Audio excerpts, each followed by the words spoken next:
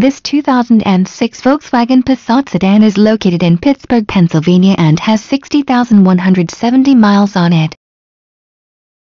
This Volkswagen Passat has a beautiful blue exterior paint color which is complemented by an interior color. For more information on this great Volkswagen Passat please click the link below.